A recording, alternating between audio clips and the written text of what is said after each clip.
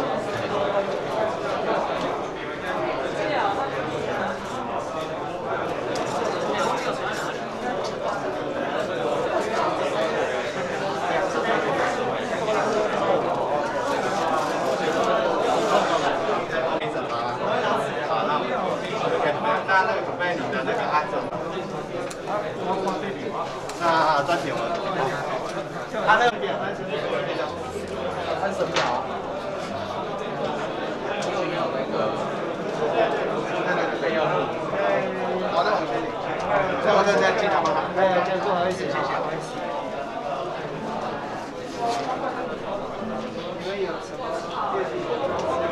就只有这块这些下面是没有的这个都台面上的这些台面上的这些对对对那你的就是说明书啊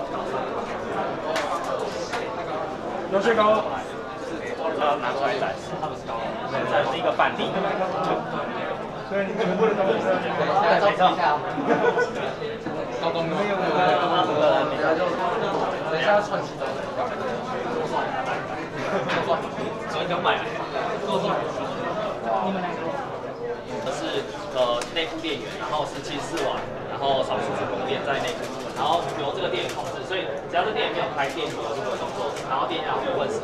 在你转过来，安全绳旁边那个导引头是在高楼，另外一个给那个在。对，他他给我们这边先免，这边免。没有，可以这个是我们自己。记得好像要给你们，他们好像要手要确认。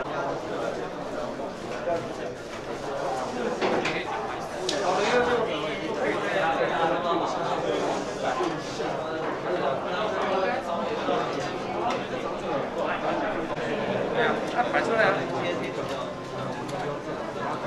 对啊，就这个。然后这个嘛，电影就只有电脑，这个里面就有电池。对，这个中すみません。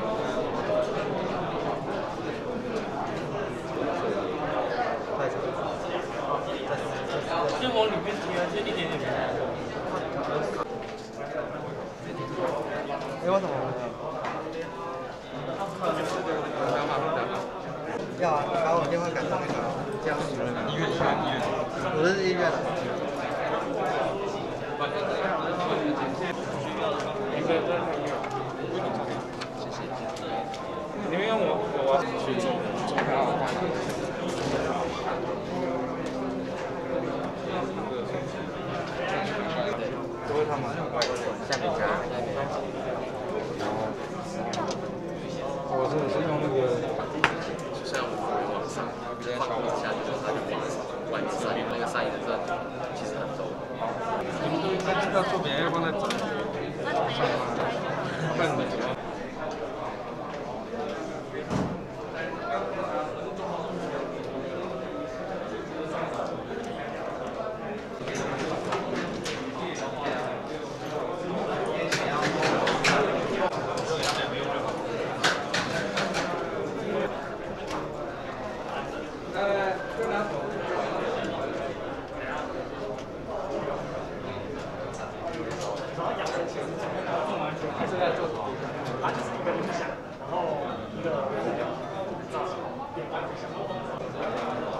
所以没有没有什么电影，那你可做。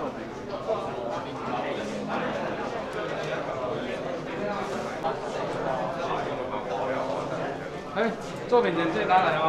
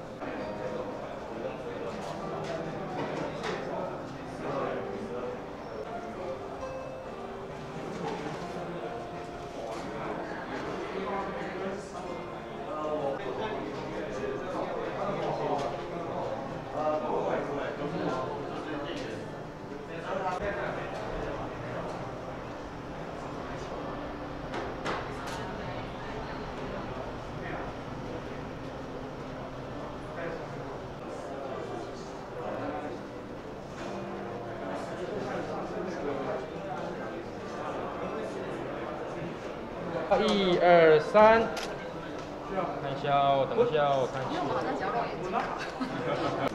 好，好，第一个赞哦，来一二三，站。OK。我有看到，我有看到。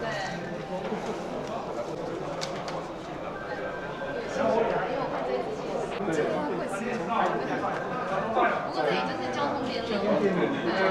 华山，华山，就感觉艺术区在那里。在华山办就觉得很对啊，就觉得很那个这个相互相识。艺术展是在我们学校后面的中间那边，中间那边十五期都大概几万，好几十万以上。天哪！你做一下，但是抱的滴滴啦，就全网在。领域其实太远，太遥远。这边，这个是另外一个。他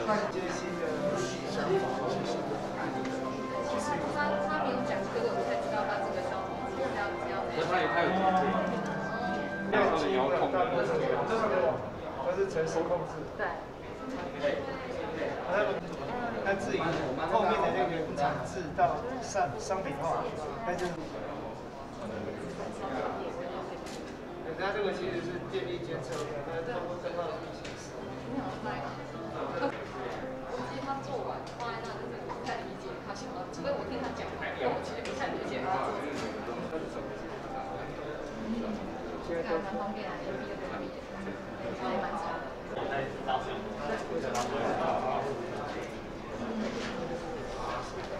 我们研发的动机是因为，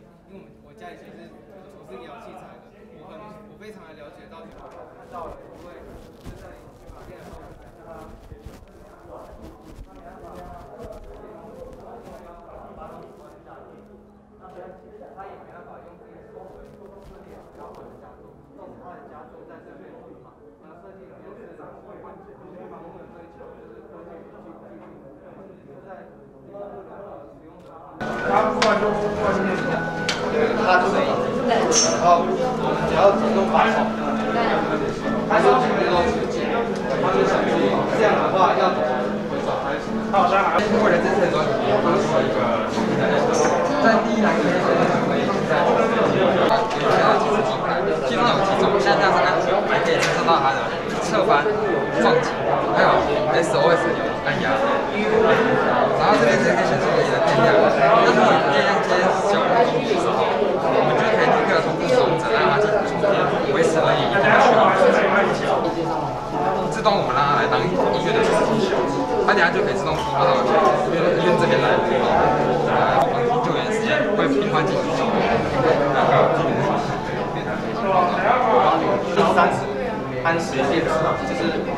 大小电池就会有四十安时的量，让我们这样出行的时候。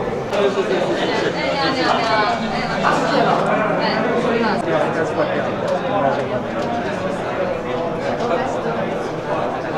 谢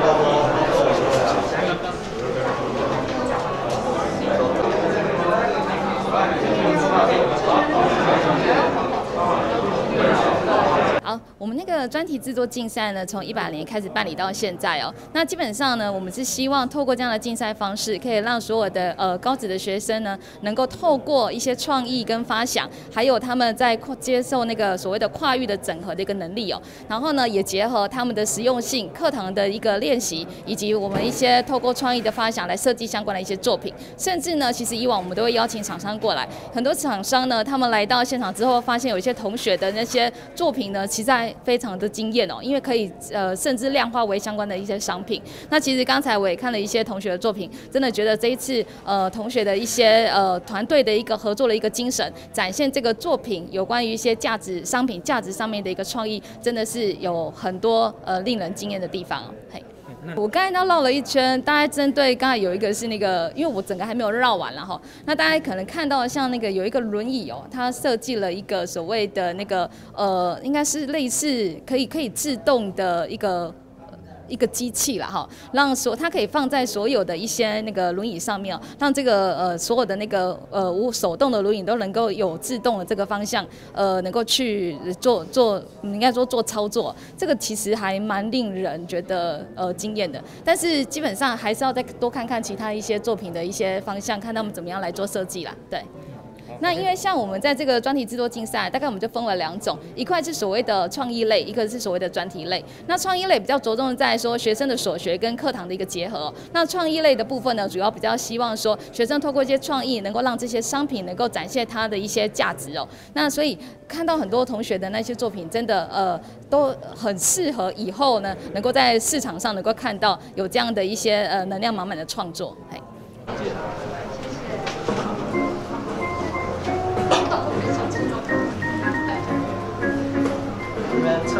够就是就是不大稳，所以我们在木板下面还有接接柱子来分散它的重量。像我们这边里面有用在车底，还有这个马达驱动。那用一方面我们是因为它稳定性高，容量大，很多。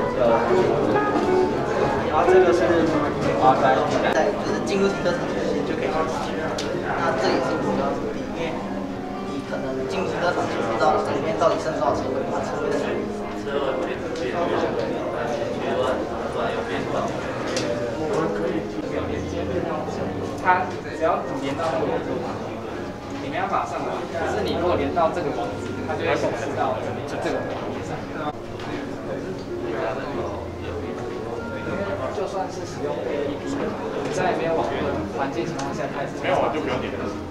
这个这个讲消话，希望我们讲完会以后，我们现在马上开，就这样，十分钟，可能十五分钟。好，那所以说，让更清楚的情况下，我们在做什么样的改善？就是说，今天讲很简单的问题，如果要延伸到后面的应用，就是用你车牌电视的车牌去进行缴费，那它就可以算出你从那个缴费机走到你的停车位大概的距离。要跟它比较有什么竞争？如果说他他真的照你的去做出，那你们的还有什么优势可以跟？我们最主要的功能其实还是在这个网页上。我想请问一下，你这个结合相片是判断车位的使用状况是？停车场跟出去停车场，现在市面上都有。如果要结合的话呢，就是结合缴费系统。你只要，我们现在是用车位，车位的编码，还要用外线去做那一个触换。我们刚才那这样子，它就显示是假的。如果你从下面先遮断那个。外线，然后再刷到 LED，那这样它就会判断是曲的反射，反射。啊。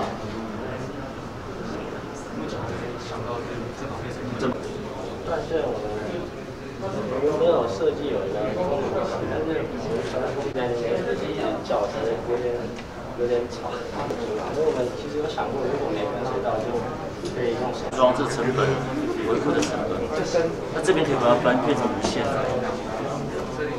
前端用一个 device，然后把什么做做蓝牙。挖地，挖地成本就相对高，但是假如你是从上面看下来，是发射，镭射是接收，有发射有接收，就代表前面有机长，它就是有这个闹钟，闹钟按下去就结束，然后我们跟主流讲一个更有创意、开放、需要的某方游戏，它更有趣、更可以。所以，那我们请就是简单一个，就是我们先记住，就是帮我们按下关注城市页，请大家去看。而这是上面所产，也是说，也是我们要几个的位置。上，面的这四个颜色，我先用一个错误的面放下去。让它有取消的值跟上面不符合计时时间来代号这边正确的放上去。公式。真的没有。反之没有在游戏时间内达成指定条件，你就状况也会显示。可以主要搭载的是 ESP 三二这块开发版当做我们的主要核心。所获取的开放资料，我们 ESP 三二在收到 Open Data 二进制的时钟显示。因为像我们平常的闹钟都是使用指针式或者是七段指示器的方式来显示，ESP 三二是透过 SQL 的方式来进行资料的传输以及读取。有时候外面光也会干扰到它，所以颜色那个会不准测不准。然后我们这里面有十次的形式。那我的报告到这边，谢谢。就很多人会因为这个部分而去赖床。那我们使用魔方闹钟，用魔状态解锁解锁密码，是因为在透过旋转魔方的这个过程，可以让你的脑袋去动、去运转、去一些。不能完全设计在手机里面啊，包含比方说你要玩的游戏也好啊，或者问一个简单的问题你答对，然后那我的闹钟还变本，而且更少掉一些里里扣扣配件。大概可以少掉一些成本。呃，它它会响，它会响，会响，就是它它后面有一个。那在刚开始的时候，它这是有两个，然后我们要把是把它发上来，对，它的材料就是跟上面一样，代表是正确，而不是这个对是同的。这是那那另外就是我们的灯号，至少会是大家都发的，不外乎就是需要使用效果器嘛。那我们也是有最最基础的音效，比如说，我把，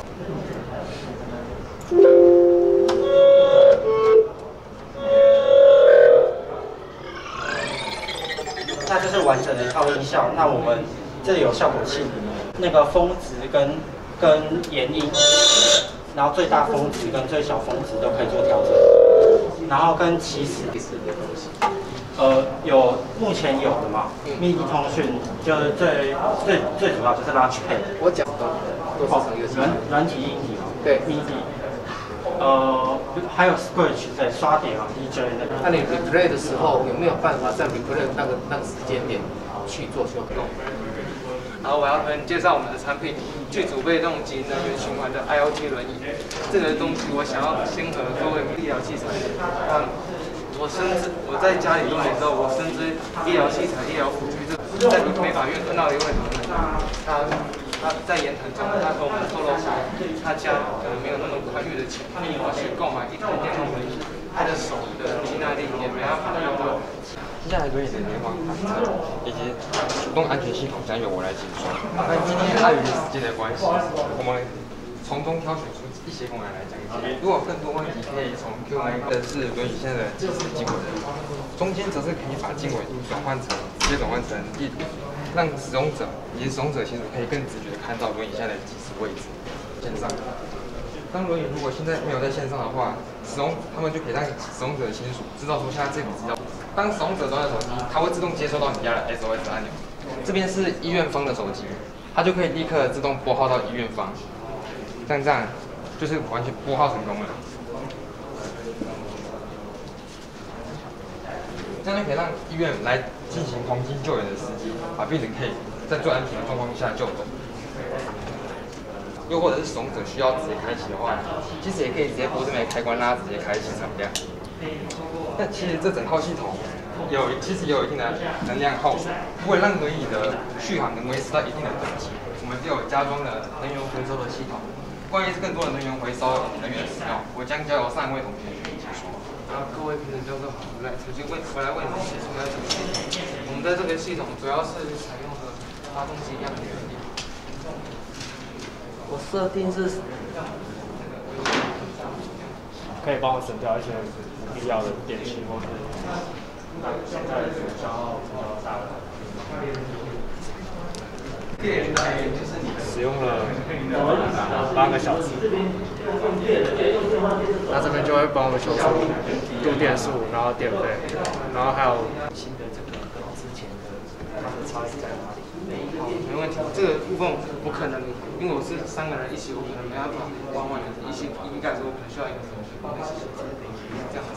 主要我在这三年间，因为去跟他们讲，我用了这三年去合作，跟知道他们真正的需求，然后我们重新做了进一步的改版，然后还有我们后面的后面的整组联网系统有做完全的。对，我们希望病人也可以搭配手机来做使用。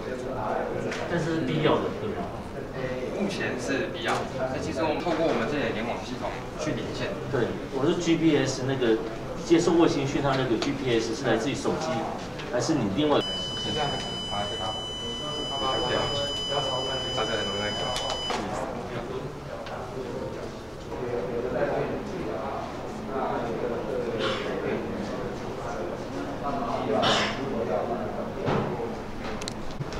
或者是电脑，它不需要的时候，就是呃大厂，它就可以在它的电脑上面呃去把它调，这样子这样就不需要。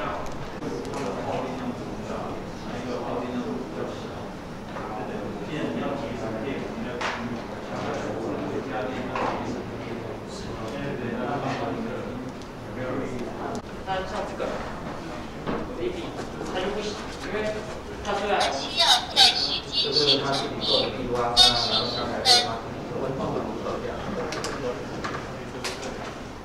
温度如何？是吗？那这个东西是讲谢谢是点开关，我设定九点三分的时候好。是在第一种，然后第一种，原来是啊，到那你就用我自己用到，然后混对的话，所以刚开始可能觉得还不错，可是你好，你站在重复这个观点啊，第一个你要如何去降低，以后可能就就连连用就不想用了。那如果是这样的话，你在商品化，因为我们这个设计是放在阳台，所以如果从要加光，但是你你你并没有一个，比方只是那个。接下来我们人都没有经过，那做热回收，然后将我们的热水储存到热水槽里面，可以做热水或是暖水。变成就是把太阳能板呃太阳能热水器里面的这一个热的交换物质本来是我们的负载 LED 灯，大家如果想要看的话，可以开起来。后面加冷水，那你们有没有考虑到这一个？因为这样子的话，就像刚刚这位老师讲，他的这个带走之后，你真正得到的电就是你的进越高，对不对？因为像教授你刚刚讲到，就是说你如果单纯用用水去降温的那，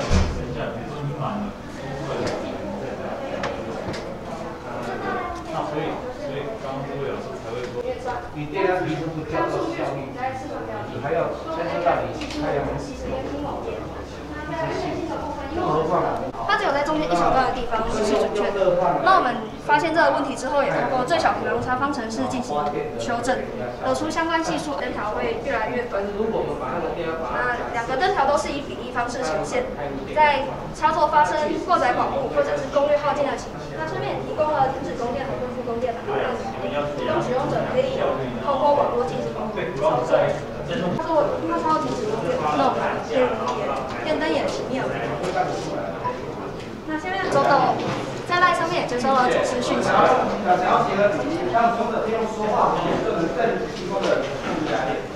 应用无线传输技术，然后我们的研究方法，系统架构，我们的装置学习过红外线遥控器的讯号之后，经过比较，后面我们可以发现，WiFi 比较适合运用在我们的远端传输的部分，蓝牙比较适合运用在我们的。意思是这样，好，那你是如何修正会得到黄色这一条？因为黄色这条从这里来看，跟这个是不是一点关系都没有？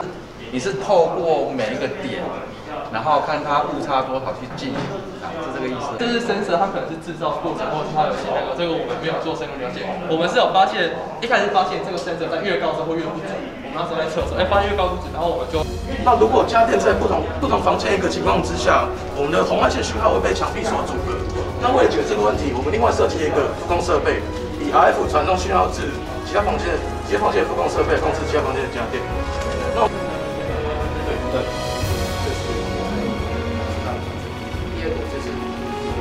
在外面已经有一种学习我们的红外线遥控讯号，就是我们的红外线遥控器，只要对着我们的主控设备进行然后。